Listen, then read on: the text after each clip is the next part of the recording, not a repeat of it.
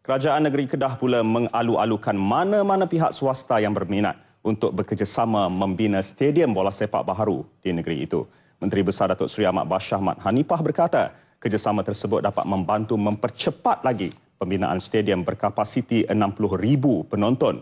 Kos pembinaan dijangka antara 200 hingga 300 juta ringgit yang turut melibatkan pembangunan kompleks sukan dilengkapi pelbagai kemudahan termasuk kawasan letak kenderaan. Berkemampuan. Kita sedang berusaha dengan pihak swasta untuk membantu uh, dalam uh, projek pembinaan stadium ni.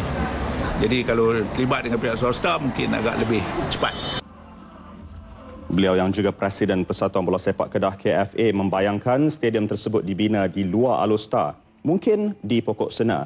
Namun keputusan itu masih belum dimuktamadkan. Datuk Seri Ahmad Bashar bercakap kepada media selepas merasmikan kejohanan futsal Piala Menteri Besar Kedah peringkat negeri di Titi Gajah Alostar. 340 pasukan melibatkan 4,000 pemain menyertai kejohanan julung kali itu anjuran Pejabat Menteri Besar dan UMNO Negeri. Johan akan menerima hadiah wang tunai RM6,000 dan piala, naib Johan RM4,000 dan piala, manakala ketiga RM2,000.